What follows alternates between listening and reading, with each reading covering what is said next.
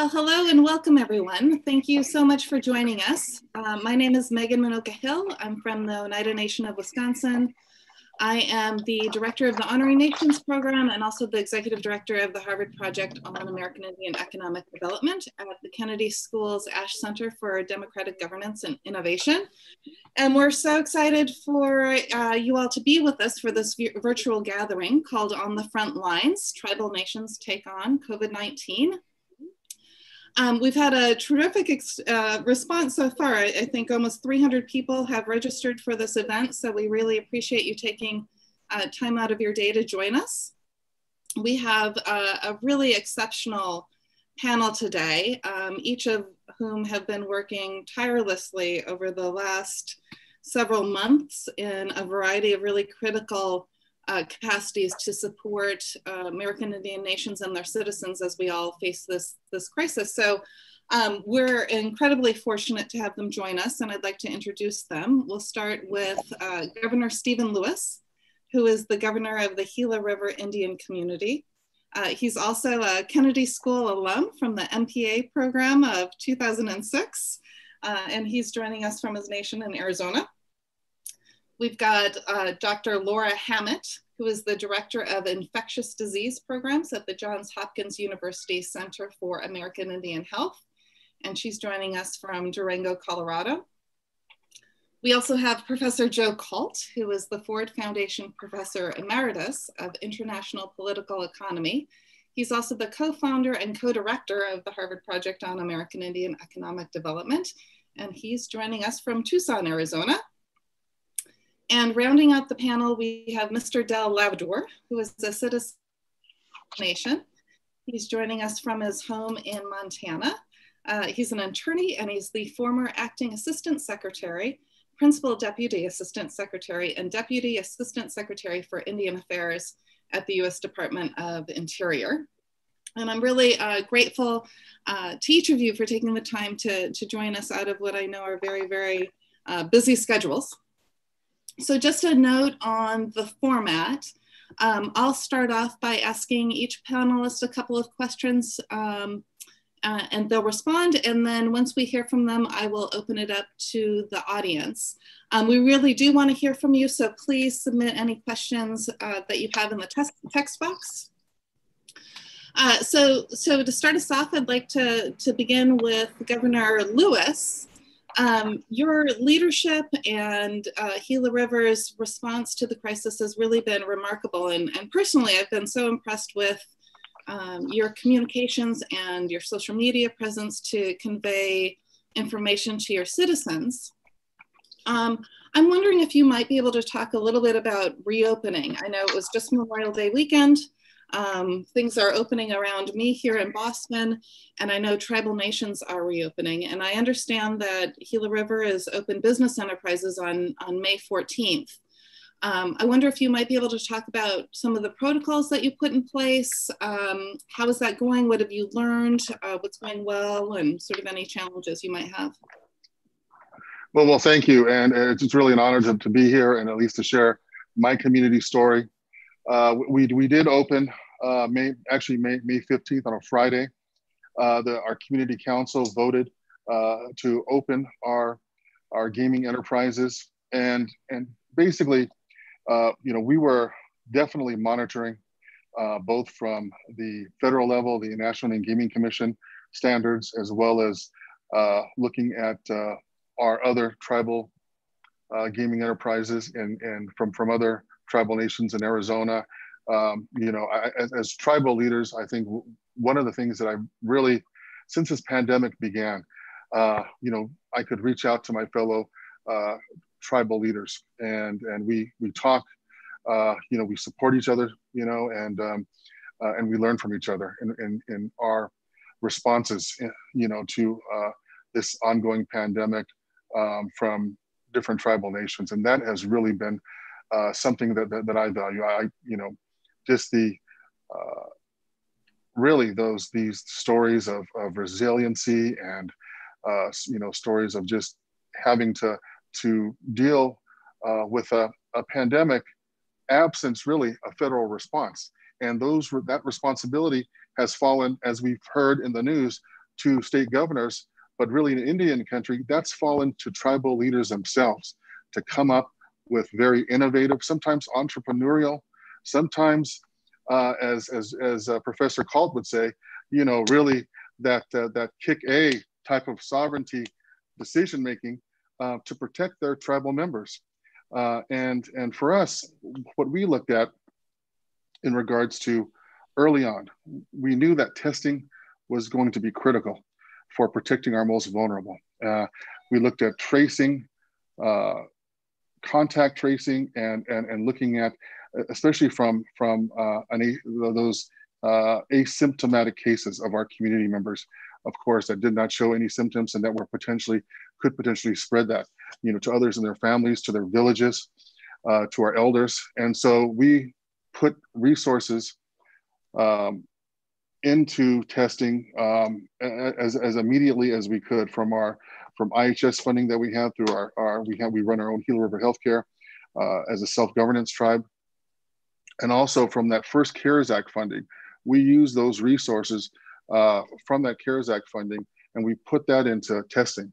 And so, of course, you know, as as most tribal nations, you know, our our tribal enterprises um, are the majority of uh, of, of the resources that we use to run our tribal government, to provide those essential services to our tribal membership. For us, it's over 75% uh, of, of revenue that keeps our tribal government going from our tribal enterprises. So, so we looked at a way where we could do it in a very phased, carefully thought out reopening plan. And testing uh, was the backbone of that.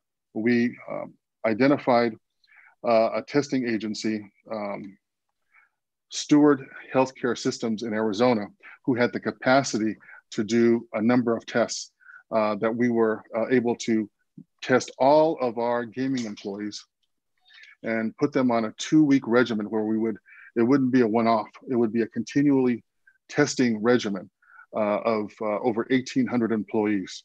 Um, and so that with realigning uh, our gaming floor to make social distancing. I know it's hard on a gaming floor, but you know what we, uh, our gaming team separated uh, the, uh, the, the tables and the slot machines. Uh, in addition, we had PPE as well.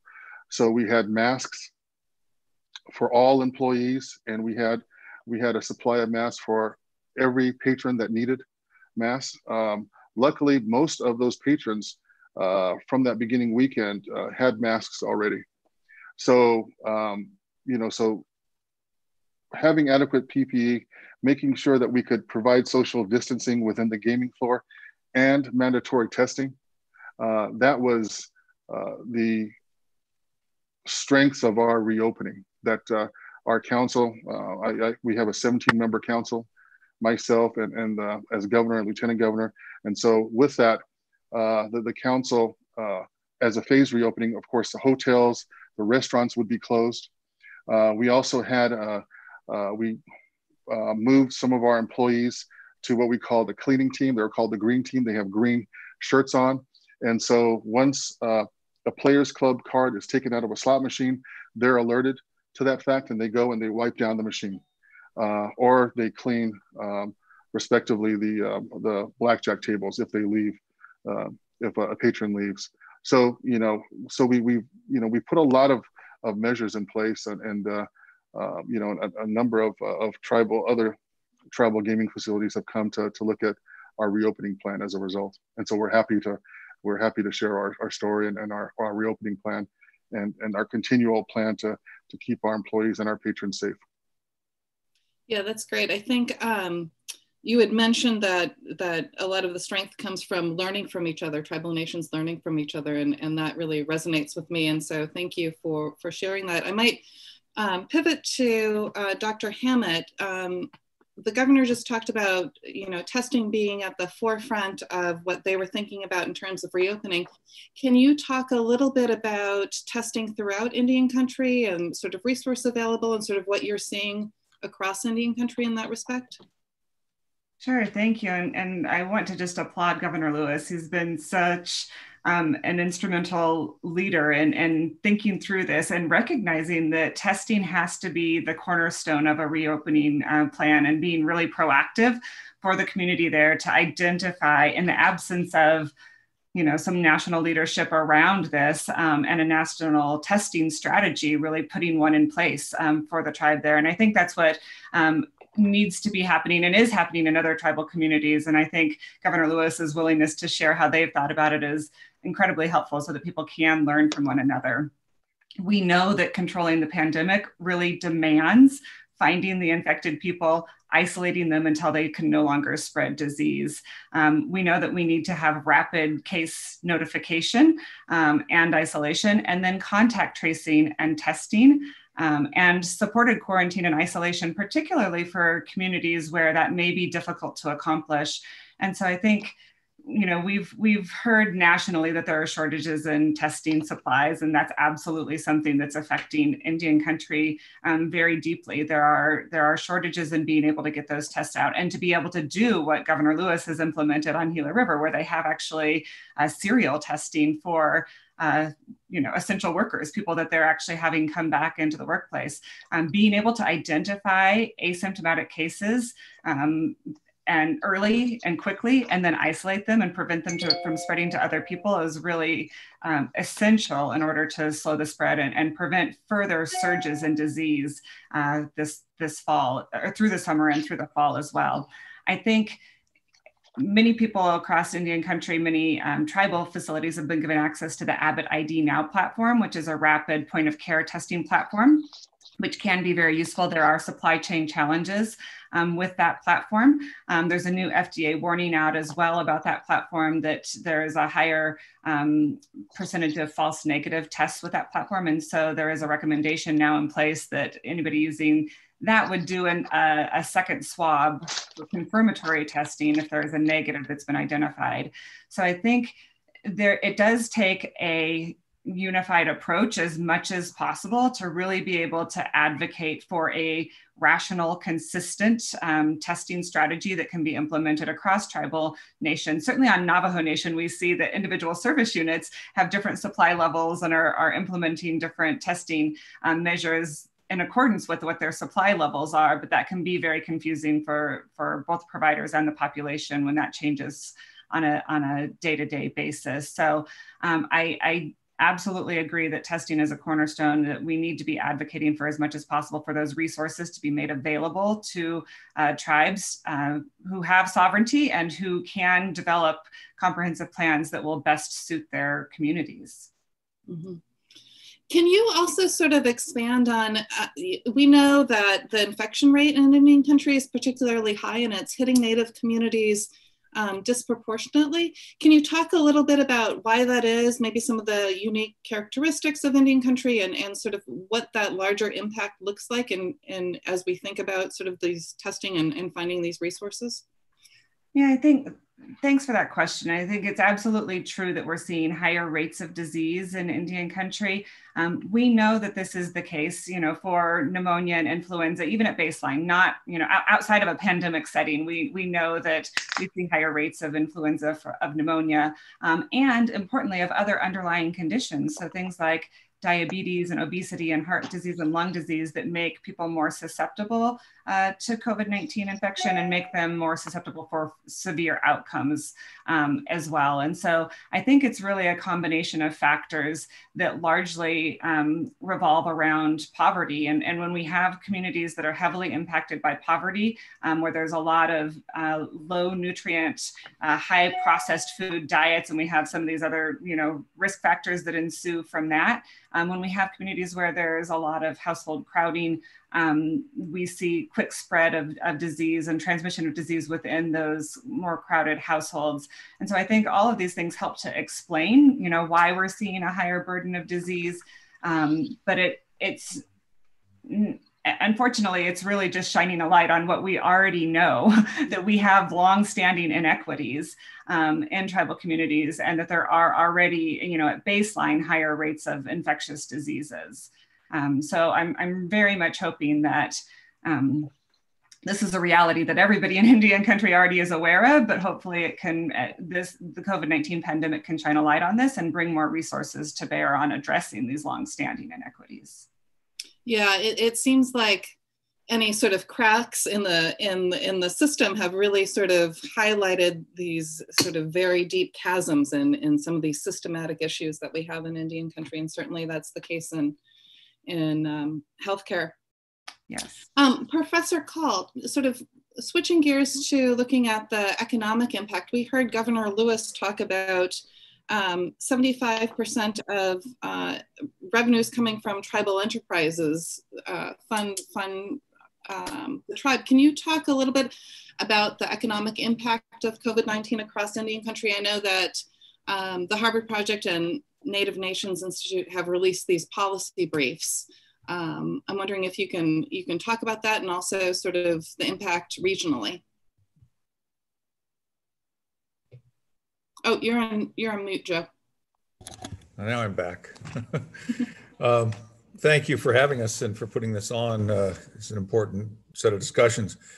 I think the way to think about the economic impact is exactly where Governor Lewis started, which is people need to realize that tribal governments under our federal system are sovereigns and they perform and have responsibilities for, for providing their citizens with basically all the services and programs that we expect of any state and local government, from sanitation and healthcare to uh, housing programs, environmental protection, tribal police and fire departments. The whole array of services uh, are, are really and, and, and Governor Lewis used the word self-governing responsibilities of tribes.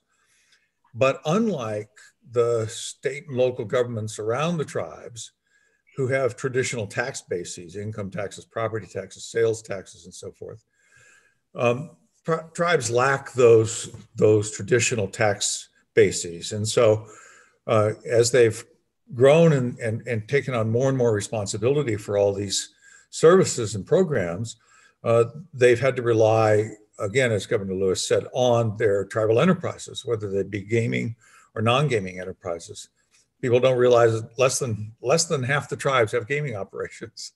So a lot of tribes are relying on non-gaming operations. But whether it's gaming or non-gaming, tribes are looking to their version of what many states do. State governments routinely now have big gaming operations, big gaming businesses called the state lotteries. And the state governments uh, tell us that the purpose of those lotteries is to raise money to help fund governmental services. In the case of the tribes, those kinds of gaming and non-gaming revenues are central to their ability to provide their citizen services.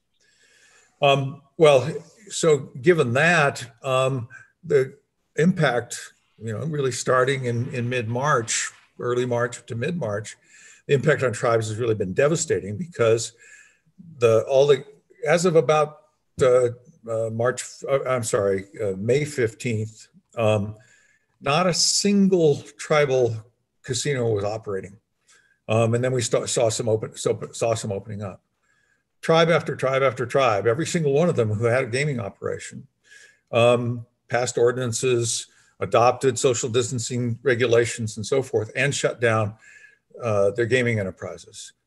Similarly, many non-gaming enterprises, the restaurants, the, the resorts, the anything tourism related has been shut down. Um, and then many of the, even the manufacturing facilities uh, in many cases that tribes have uh, and other operations were, were shut down. When you did that, you cut tribal revenue essentially to zero almost immediately. Um, and um, uh, this left tribes then uh, just desperate to try to provide not only support for the employment in their enterprises, but be able to just keep their tribal governmental programs, the health clinic, the, the police department, the fire department, up and running at full force. Um, and as Governor Lewis mentioned at Gila River, it sounds like about 75% of all the funding uh, uh, comes from uh, the tribe itself, its own tax revenues essentially on itself. Um, and in fact, the United States Civil Rights Commission last year released a report. The, the federal base of funding is actually extremely meager. People think that tribes are wholly dependent on the federal government. Um, the federal government's own data, they came out and said um, that this is actually, actually, I think they used the, the word embarrassing at one point that uh, the federal government support for the tribes was just was just meager, and in fact less than the federal government support of state and local governments um, in the even the pre-pandemic period. So tribes have been devastated by the fact that uh, their core governmental operations are under threat. Their business operations are largely have largely been closed and are slowly reopening with the kinds of care that uh, Governor uh, Lewis talks about. We hope that it's a safe reopening, but I, I, know that the governor and all the tribal officials that we talk to are very concerned that they not touch off another round of hotspots and, and, and so forth. Um, so at any rate, the, the, bottom line then is that these tribes, not just their economies, but their ability of those, the ability of those economies to feed the tribal government has just been devastated. Uh, we intervened a little bit in some of the Treasury Department's deliberations. And on, based on our research, we found that tribal economies were contributing immediately prior to the pandemic, for the year leading up to the pandemic, about 100, just under 130 billion dollars to the U.S. economy, um, and more than a million jobs in the U.S. economy, either directly, tribal government or tribal enterprises, or indirectly the spillover effects when a worker for the tribe goes out and goes to the local grocery store that uh, helps support the grocery store and its employees and when you looked at the direct and spillover effects more than a million jobs in the us economy are accounted for by tribes more than 900000 of those jobs are non-indians mm-hmm. um, so that um, the economies in which around the tribes, where the states and the counties and so forth, where tribes are embedded, tribes are now quite often the anchor uh, for the whole region around them. Um, and uh, as our state and local governments, tribes um, uh, make payments in lieu of taxes, they're called, um, payments in lieu of taxes to states. Uh, all the workers pay federal income tax and so forth and so on. Um, we calculated that almost $10 billion of state and local tax revenues and other tax payments in lieu of taxes by tribes were uh, basically under threat and in many cases now being cut off and another $16 billion of federal revenues so tribes are, are not just dependent on these economies but other economies are dependent on tribes and all of that has been under tremendous pressure and the need has turned out to be huge in indian country uh, because you couple the devastation to the economy and the tribal governments with the disease rates that uh, uh, Dr. Hammitt mentions, you've got obviously a real crisis. Yeah, absolutely. Sort of given that, I mean, the, the regional impact is, is staggering. Um, I'm wondering, um, Governor Lewis, sort of in light of this, I'm wondering uh, what your communications have been with other tribes in the area, uh, the city of Phoenix, the governor of Arizona. How have you all sort of uh, collaborated and communicated on sort of issues around reopening and, and COVID? Right, um, and and I think what, what's important also was, is that um, uh, for our Gila River healthcare system, we, we run that um, independently of the IHS, uh, and um, we also we we have a we're a tribe of 23,000 tribal members. And our service area takes into account 100,000 um, Native Americans. You know, Phoenix, uh, Metropolitan Phoenix is one of the largest uh, urban centers as well, and then uh, home to, you know, the one of the largest tribes, the Navajo Nation, uh, as well as the tribes that are surrounding. Um, and so, um, I think it's important to note that we we we have tested and over um, 70 case positive cases um, in our Gila River Health uh, Healthcare, and uh, only 15 are uh, community members, and the rest are members from from other tribes that are presenting themselves to be tested and and and that uh, have come back as positive uh, tests as well. So you know, so for, for the Gila River Indian community, you know, we we we look at how we're surrounded, um, you know, by uh, not only the county as well as uh, the the larger state. And of course, the, the state of Arizona was one of the uh, probably the you know uh, even now they're they they rank they, they lag in regards to testing per capita in the state. And, and, so tribes bear the brunt of that. And I think that was one of the things that really pushed us uh, to look, you know, innovatively for uh, using our and, and leveraging our, our, our first COVID-19 funding that we got from the, from the Tribal Relief Fund to a very comprehensive um, testing plan. Um, you know, of course, you know, we, um, where we were in communication with uh, with the governor of Arizona, and uh, of course he has come down with his own. That's Governor Ducey, uh, his own um, uh, testing protocols and his executive orders. But also, I've also issued my own executive orders per our constitution as well. Um, sometimes mirror the state of Arizona. Other times are are you know uh, I think more more strict as well. Uh, and um, also, uh, and and I know a lot of the tribes uh, in Arizona, the tribal leaders that, that we've talked, I've talked with, they've also very early on for Gila River, uh, I instituted my COVID-19 task force in the end of January.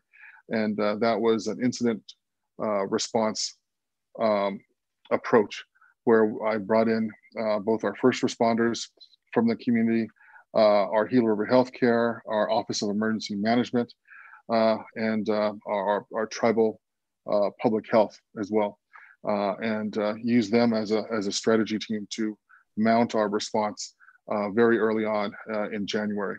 And um, that's taking into account the, of course, the CDC guidelines, the federal guidelines, as well as the state guidelines, but also what are our guidelines going to be for the community? And that's what tribal leaders uh, I'm proud of the tribal leaders for determining for themselves, you know, what uh, uh, what standards um, that are appropriate to their specific needs as well.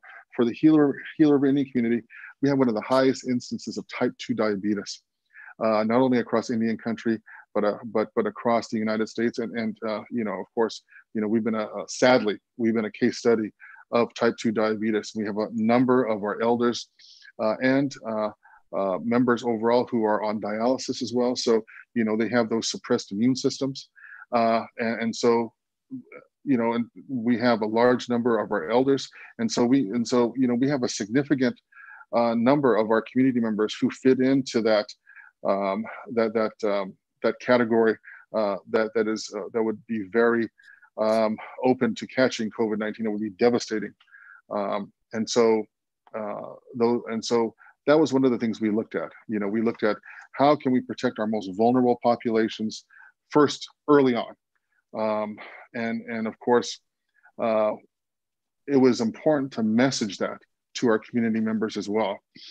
Uh, from our first case, I remember uh, our first case. I went on and I did a video message uh, to my community members and uh, announcing that and talking about just how uh, you know, important it is to wear a mask, important it is to wash your hands, important it is to social distance. Um, and that first video uh, became so, uh, you know, to my community members, um, both on and off the reservation, uh, it became so critical to get that communication and that education of this pandemic uh, out to out to to our community members. Uh, at, at, you know, on social media, we have um, also our own tribal um, uh, uh, TV station as well. So it was important. And then it, it became a series uh, of video messages at the beginning almost every night, talking about, you know, what are the number of our positive cases, um, you know, talking about continually um, uh, washing your hands and social distancing uh, as every day um, patterns to protect yourself and to protect you know your elders because as we know we all live in multi uh, in, in Indian country.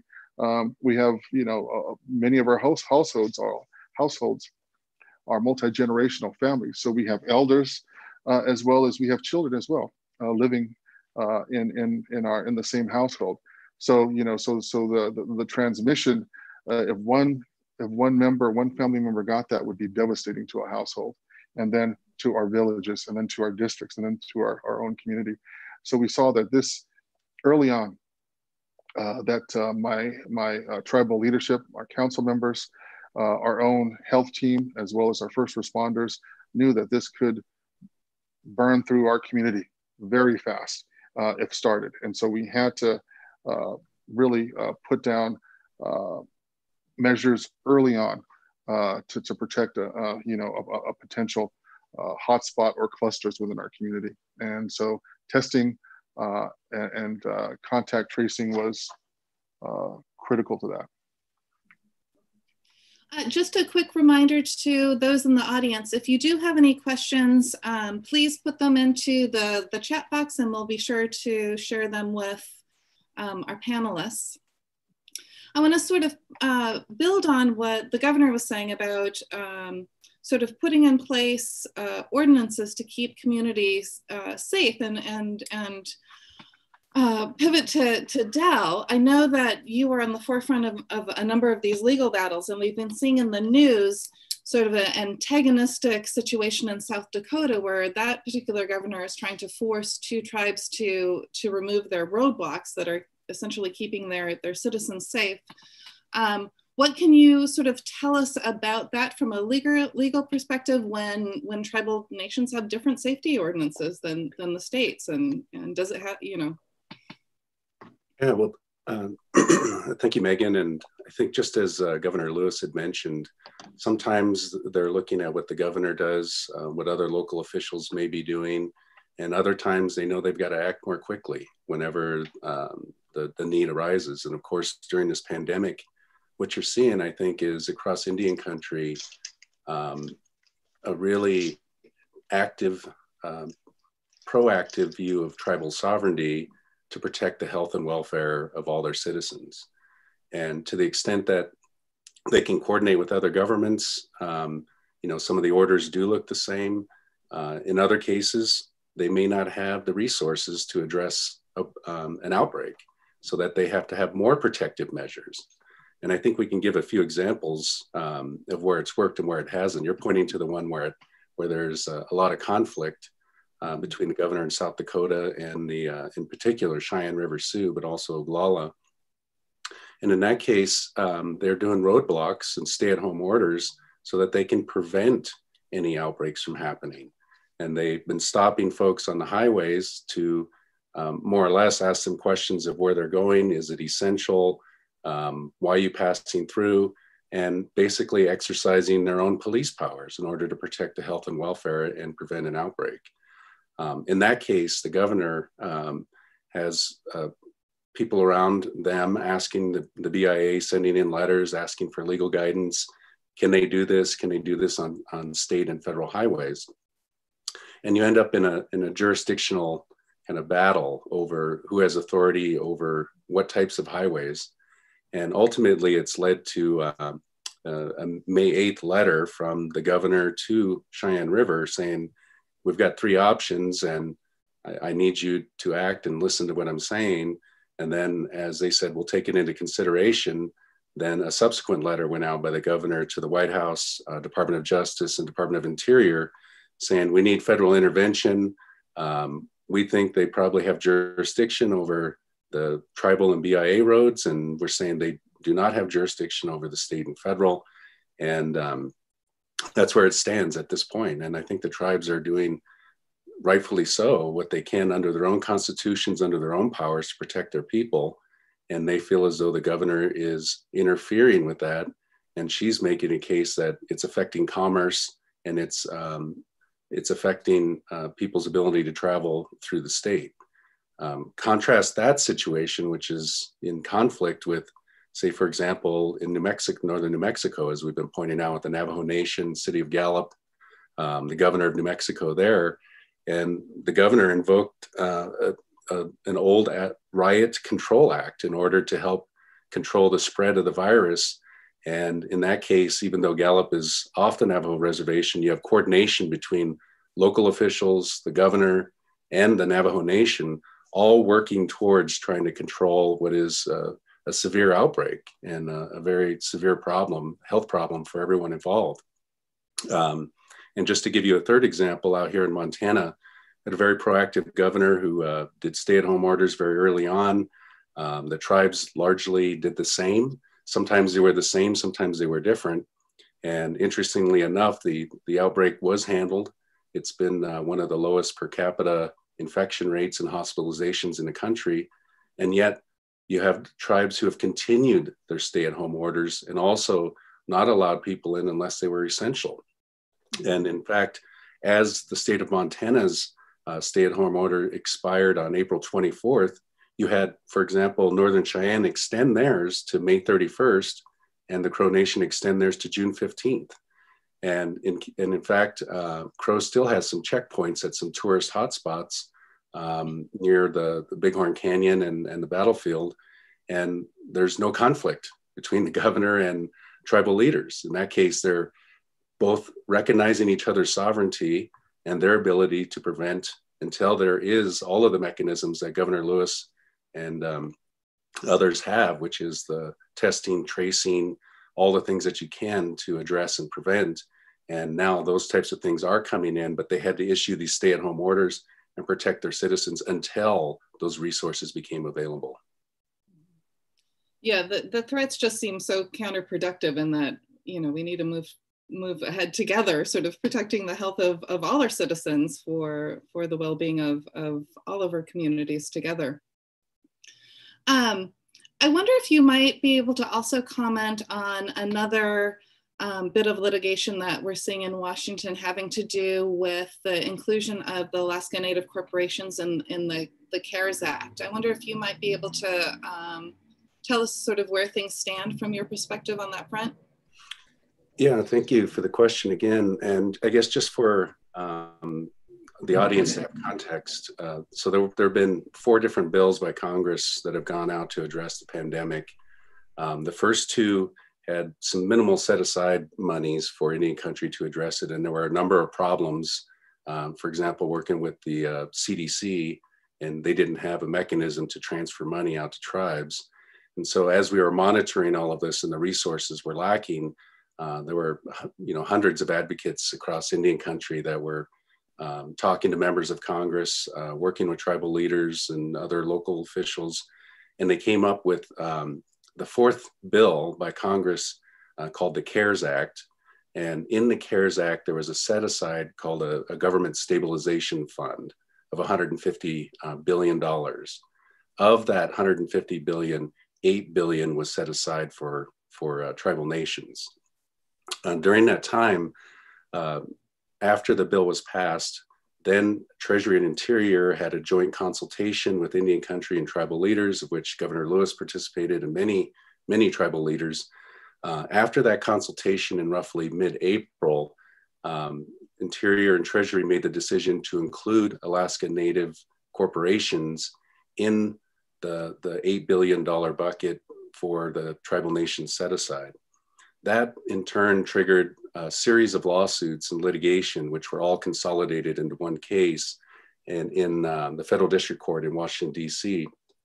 And after uh, the hearing, uh, arguments on both sides, in that case, the federal judge made a ruling that said that ANCs were not tribal governments under a series of federal laws.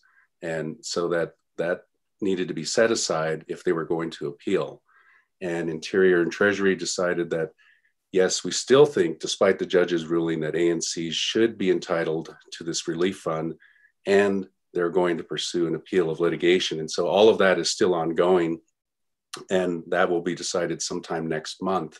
Ultimately, when the appeals court decides and then remands it back to the to the lower court, and the agencies proceed whether they're in or not. Um, interestingly enough, there are other cases that have happened since then asking for the, the, the uh, Department of Treasury to move forward with the allocations for the rest of Indian country because they needed them to do the things that Governor Lewis is talking about, which is get the resources, the testing, the tracing, et cetera, from the stabilization fund. And as that started to trickle out um, after the hearing in the case, there was another case set of cases, and not to um, um, convolute everything, but it was to ask for the distributions to move forward um, even with this other question that was outstanding. And so the uh, Treasury started to go with the allocations, and then we found uh, a number of problems with that on the formula used because they had requested uh, tribal nations to gather together a set of four different sets of factors, including population, employment, um, expenditures, uh, etc. And Treasury decided to use the Department of Housing and Urban Development Fund instead of what tribal nations had submitted, um, and which became a problem. And so what happened was there was over including and under including, and there were some 30 plus tribal nations that got the very minimum allocation, were undercounted under the formula used, and then there were some tribal nations that had overcounts of their housing uh, population, and so they got more money than they actually were entitled to, and so they're you know it's a to be determined on what's going to happen uh, going forward, but ultimately there's um, you know there's going to have to be a lot of questions that need to be answered. Yeah, absolutely. The the question of equitability is a is a big one, and I know Joe, the third policy brief that was released on Friday really um, try to get at what an equitable distribution of CARES Act funds is. I'm wondering what you can tell us about that. Um, sure. Um, and as Del mentioned, the uh, CARES Act monies have started, they started to distribute them, but then there's all this litigation going on. And Treasury is representing that it's working hard to to get out the next round of, of allocations uh, of these funds that are appropriated for tribal governments.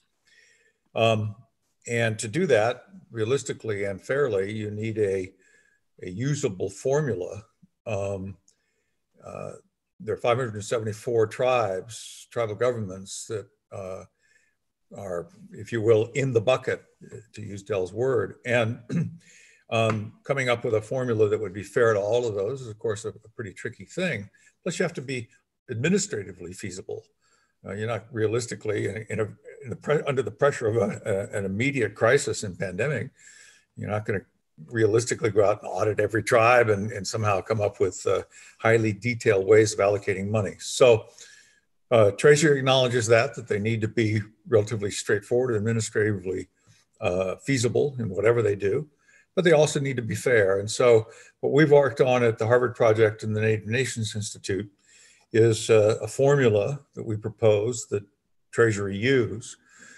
Um, under that formula, uh, the kinds of information that Del mentioned, the federal government has already asked for, um, and tribes have been submitting uh, the number of citizens of the tribe, the enrolled membership of the tribe, uh, the number of employees in both the tribal government and tribal enterprises, the, their land bases, um, and uh, uh, measures of expenditures that have been made so far um, have been submitted and are being submitted by tribes. Um, so we propose to use that information um, to create a three-factor formula. Uh, that formula would weight uh, directly the citizenship numbers of the tribe Governor Lewis, what, what's your total enrolled uh, citizenship? Did you say 23,000 enrolled? What, what are you enrolled? Yeah, yes, just over 23,000, Professor. So use that, use something, use that for Gila River and for all the tribes, find their population numbers, number one. Get their employment numbers for all the employees of uh, uh, the tribal government as well as the tribal enterprises. I think uh, Governor Lewis mentioned 1,800 employees just in your in your in your uh, gaming operations. So collect that kind of data. Uh, tribes are making uh, expenditures daily now in trying to combat the pandemic. Collect that information. Um, and uh, basically have information on employment, population, and uh, expenditures. Expenditures are particularly difficult, however, because the law that we're talking about here, that Del talked about, the CARES Act, uh, uh, is supposed to cover expenditures from March 1st, 2020 to December 30th, 2020. Well, we're not even close to December 30th yet. We're in May. And so you have to have some method of estimating those expenditures. At any rate, so we propose a formula that would put 60% weight on the enrolled citizens of the tribes, um, 20% weight on their total employment of tribes, tribal governments, and tribal enterprises, and 20% weight on expenditures. And let me talk briefly just about those.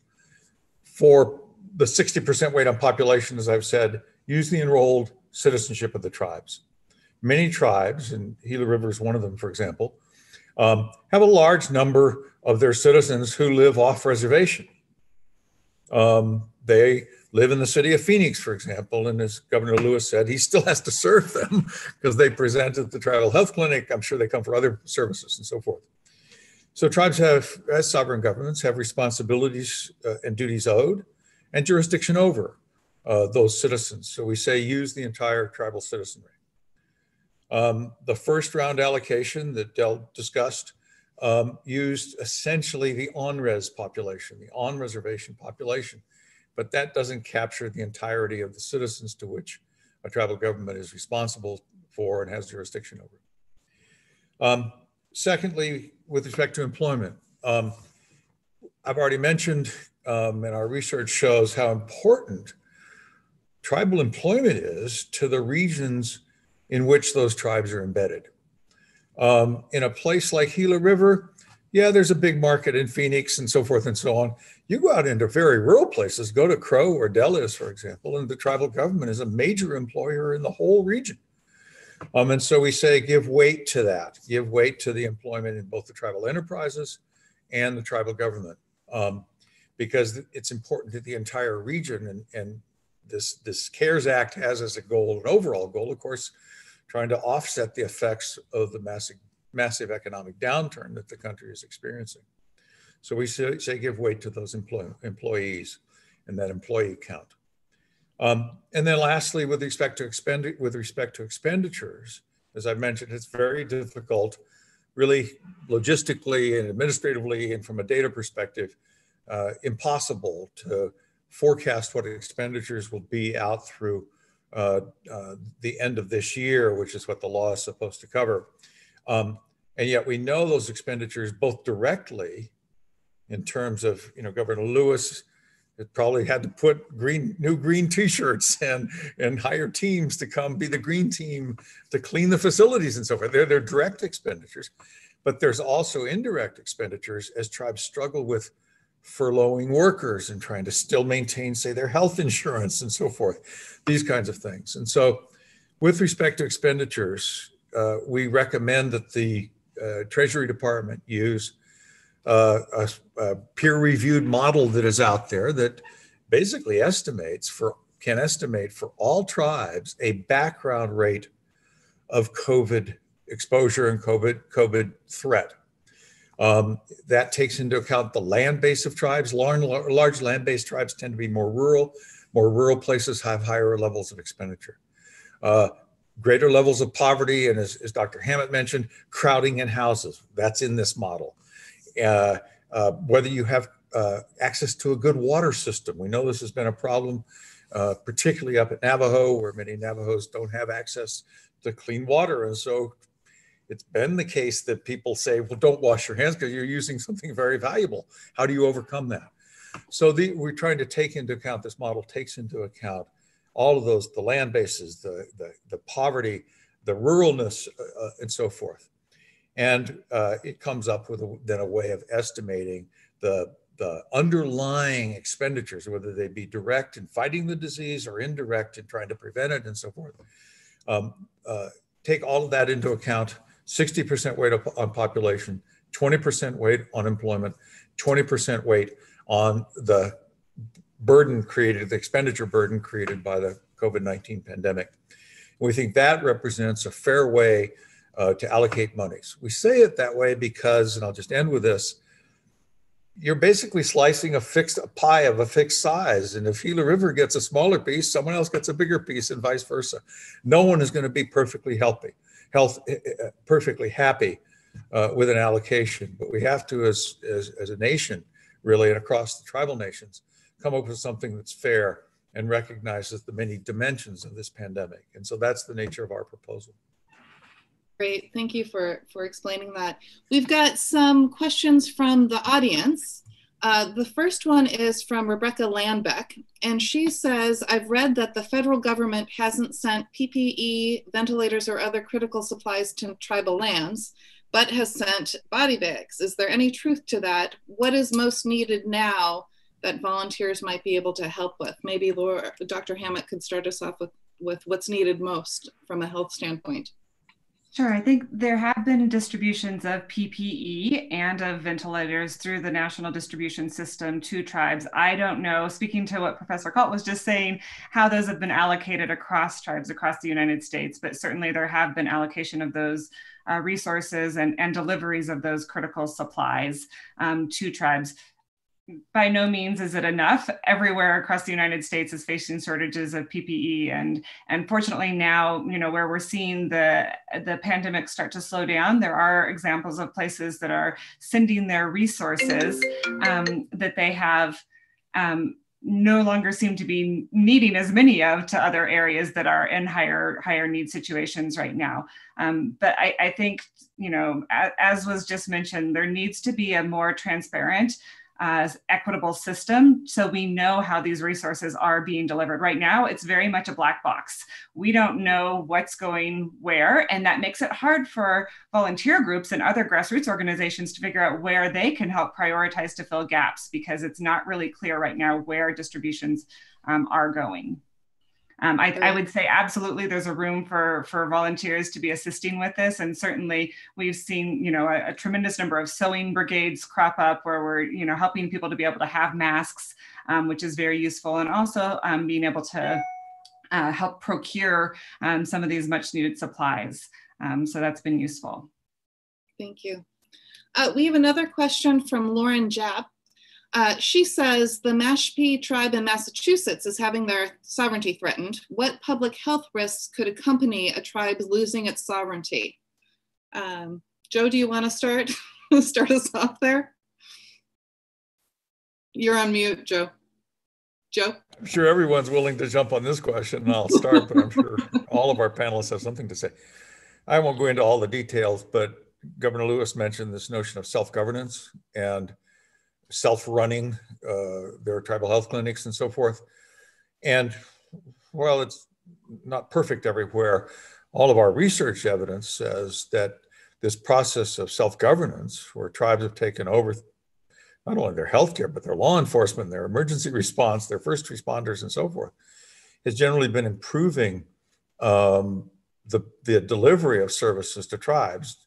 It's, it's, it's quite simply the case that uh, uh, you know Governor Lewis sitting there, uh, if he messes up, his his citizens are on top of him, and that kind of uh, accountability, uh, you know, thank goodness there are people willing to shoulder that kind of responsibility, like Governor Lewis. Um, but that kind of accountability improves improves the performance and in fact, Gila River is quite famous for improving its winning awards for improving its delivery of first response and police services and healthcare services and so forth. Um, and so and so, if you if you really take away the sovereignty of, of tribes, you actually take away the ability to hold accountable the people who are supposed to be delivering the necessary services that hold a civil society together. I'll just I'll just stop there. Governor, you must have a comment Governor on that. well, well, yeah, and, and and I think as, as a tribal leader, um, you know, it's it's a it's a travesty what, what's going on with with with the, the, the Mashpee Nation, and we all, uh, you know, as was as, as, said a lot, we all stand with Mashpee because what could happen to to Mashpee uh, could happen to any of us, um, and you know, uh, I think definitely um, as a sovereign nation, um, and and uh, to exercise your sovereignty in a time of a pandemic to protect your uh, your your tribal citizens. I mean that, uh, that that's critical. That's life and death.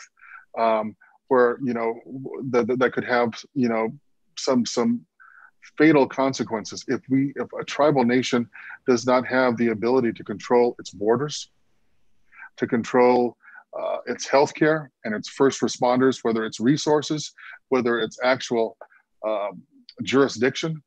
Um, you know, because I, know for for um, uh, for my community, and I know it was even critical for for other tribes that are going through this right now.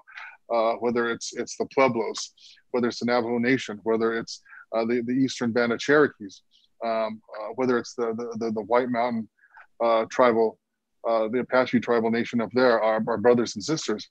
I mean, I mean, it's critical to have those those aspects of self-governance where you're able to um, uh, put through executive orders or, or, or, or, use your constitution, your tribal constitution, to have stay at home um, standards, to have uh, travel bans, uh, you know, to, you know, to, to, to be able to do those uh, in, in, a time of, uh, you know, of a, of a public health emergency and to do that timely as well. For the Gila River Indian community, you know, we're, we're charting all of our, our, our responses and we've done that sooner uh, than uh, either the, the state of Arizona or the federal government. Um, and, and, I think that that you know, and and of course, Gila River is not the only one. We have we have tribal nations that are doing that and that are exercising, um, you know, sometimes you know uh, higher standards uh, than their than their home states or conflicting, as we see in the northern plains. Um, but that is a true, um, you know, w- w- w- that is a, that is a, a, a true uh, outlay of, of sovereignty of acting on it. And when you don't have that, um, your tribal nation is in uh, truly uh, a precarious, dangerous situation. Yeah, hey, Megan, this is Del. Um, I, when I was in DC, I, I had to work with the, the Mashpee on a variety of fronts about their situation. And, and as Governor Lewis said, it, it is a travesty. And as Professor Kalt mentioned, um, you know, they fought for many, many years just to become federally recognized to begin with in the 2000s. And then as they proceeded to try to protect their homelands, um, the, there was a Supreme, Supreme Court case that came down in 2009 that had a devastating impact on them, which was the Carcieri case. And in that case, the, um, they didn't allow the Narragansetts to proceed with their own housing because they weren't under federal jurisdiction according to the court in 1934. So you have these kind of um, old tests that people are having to meet after the fact to go back and prove that they're under federal jurisdiction and ultimately acknowledged by the federal government so that they can get the resources, protect their land, and do the types of things that you've heard uh, tribal leaders doing right now to protect their citizens. And in fact, um, it appears as the administration had withdrawn a, a very valuable Indian lands opinion that many of us had pushed for and worked on that allowed for Mashpee to move forward with protecting their homelands. And apparently that was withdrawn during this litigation. And so there's there's multiple layers of of um, historic facts and uh, legal battles and and it's unfortunate and sad that they're spending all their resources just to try to get the acknowledgement and recognition so they can use their resources to protect their citizens. And I, I it, it just, um, it, it, to face all of those types of things has got to be extremely challenging. Yeah, yeah, absolutely. I agree. Um, I think we have time for, for one last question. It comes in from Krat1. Um, and Krat is wondering uh, what specific examples uh, might you be able to give of a nonprofit or a neighboring community uh, providing assistance uh, to a tribal nation that was useful during this crisis? Um, maybe Governor Lewis, are there any uh, sort of nonprofits that uh, is, are working in partnership with Gila River um, that you can speak to? Well, you know, I know that there are a number now, and and, and yeah, I think every day you know you see more um, uh, more activity in that nonprofit sector as well that or even the, the, the ngo sector as well i mean you saw i see that uh, uh, in our um, up in northern arizona uh, with, with, the navajo nation um, just an incredible amount of activity up there um, and uh, i think uh, professor Kalt, i know one of our our, our, our, classmates um, she started a GoFundMe site that just was at just right at a critical time at the beginning where where there was no activity at all. Um, uh, and that's that's of course Miss uh, Ethel Branch. I know she's a, a new mother now, um, but started and, and, I think from you know from um, I, I, think that that shows um, that there is a need for grassroots, um, especially our especially sometimes our own tribal members as well. I have a lot of tribal members that are um, that uh, you know are, are reaching out uh, beyond our, our, our borders with sewing projects, uh, sewing masks, uh, helping our own tribal members in, in uh, urban settings as well. Um, I know one of, uh, you know, some of our, our, our, Native American, I wouldn't call them celebrities, but, uh, but uh, especially in New Mexico, Mr. Notah Begay and his foundation has been, they've been, you know, very active, I know in New Mexico, but also in Navajo as well. Um, and, and so, you know, you see these, these I think, good examples uh, that are sprouting up. And I, then you see tribes helping other tribes as well. Uh, you know, for us, you know, we, are building on our on our on our testing plan. We're going to be um, we're testing our tribal employees now uh, uh, for a phased reopening as well. Uh, so we're we're testing. So we're we've uh, I think tested almost six thousand tests so far, and so we're looking and we've also are I'm working with with you know our sister tribes here in Arizona about replicating as a as as a uh, as a best practice, as a gold standard uh, for for other tribes as well. Yeah. Well, and I know uh, we at the Harvard Project have been um, in contact with uh, the Native American Advancement Foundation uh, at the Tohono O'odham Nation, who uh, is working in partnership with the Gu Vo District uh, to provide food yes. and educational materials uh, to the citizens there. So um, it's all hands on deck and and you know we've got a long road ahead and and hopefully um, we'll come out come out stronger when all is said and done. Um, we are at the end of our session and i want to give a special thanks to our panelists. Um, we're, we're really grateful for the work that each of you do every day um, and your dedication to, to see indian country through this. Um, if you're if you're interested in learning more about our more about our work on COVID-19, uh, reading some of the policy briefs that Joe mentioned, uh, learning what other tribal nations are doing, including Gila River, um, and learning about the efforts of the John Hopkins Center for American Indian Health, uh, please go ahead and, and check out our nation building toolbox on COVID-19 specifically. Uh, you can find it at nationbuildingtoolbox.com. Uh, so Again, thank everybody uh, for being here for today and spending some time with us. And I hope you all uh, keep safe. So thank you. Thanks, Megan. Thanks, everyone. Our pleasure. Bye, team. Thank you. thank you.